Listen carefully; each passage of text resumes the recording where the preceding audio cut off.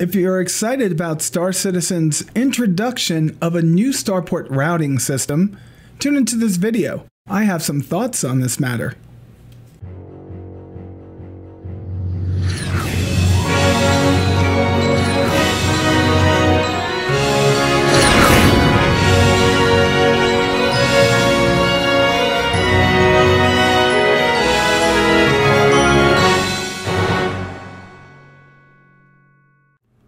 Was about 45 minutes after I released my last video that CIG revealed to us their idea of pathing around starports. Now, I'm not calling this landing assist, I'm calling this pathing around starports or ATC. Now, this can be offered by many people as an option to make landing easier. At this particular point in time, I don't see this as a correction to the issues I pointed out. I see this as a great start. Now, there's a lot of growth, a lot of evolution that needs to go into this product. First off, I don't like that you're flying down a tunnel and you have to enter it in an exact flight path.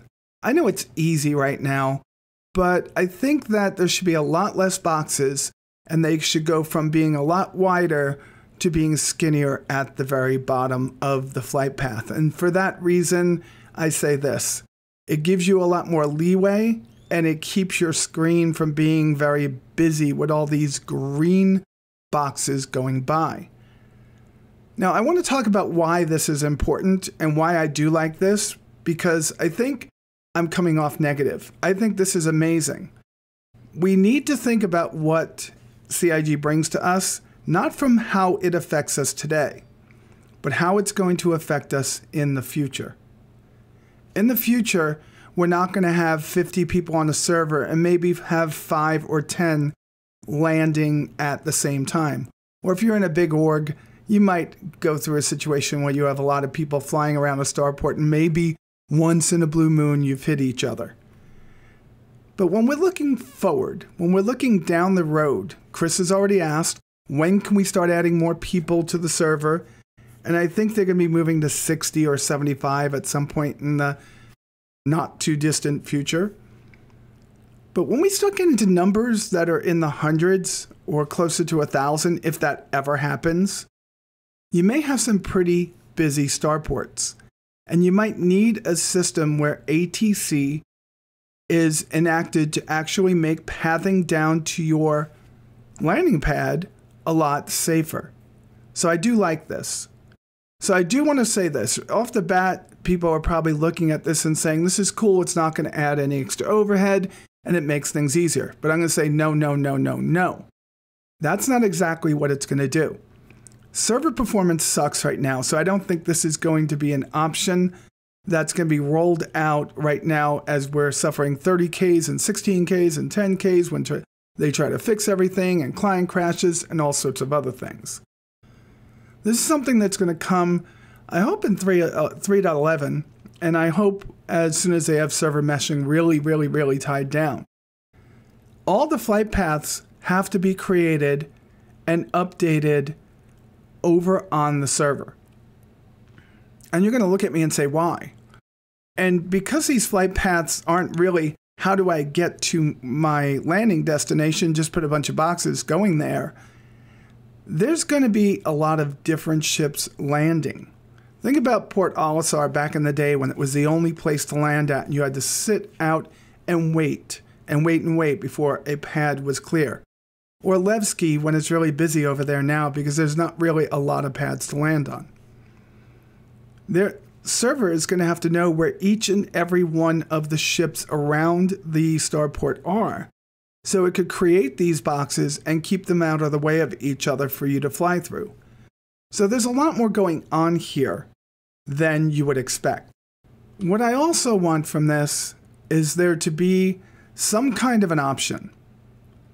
Some kind of an option for us to see a new landing mode on our HUD.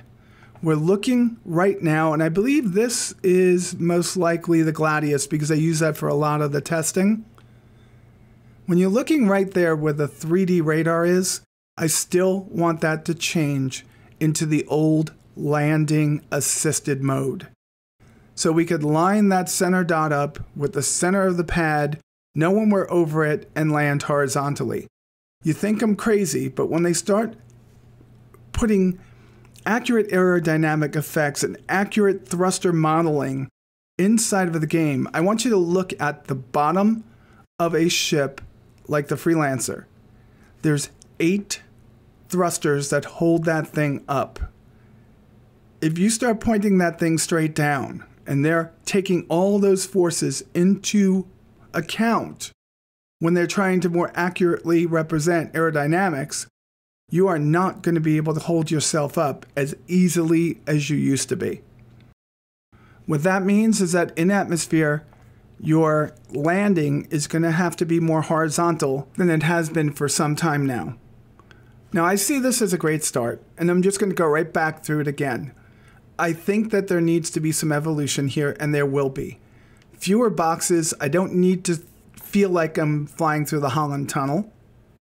I want them to be wider at your entry and tighter when you go down towards your landing pad. And when you get to your landing pad, please, please, please use that 3D radar to actually give me a way to line up right over the landing pad and come in horizontally without having to go to my external view every single time.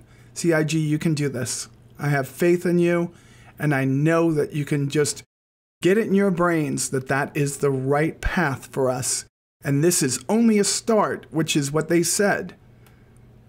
And I do like it. I just think it can be better. If you like this video, please click the thumbs up button below. And if you are a subscriber or have decided to subscribe today, please click on that bell-shaped icon to get notified of all my future videos. A big thank you to all my patrons. Without you, this channel would just be going nowhere right now. I'm humbled by your support. And if you want to support the channel, you can go to Patreon, P-A-T-R-E-O-N dot com forward slash Batgirl. And as little as $1 a month helps the channel to pay for a lot of cool things that I need to get done to improve my audio, my video, and bring you the best damn space simulator ever content that I can. And with that said, folks, you all be safe out there, and I will talk to you soon.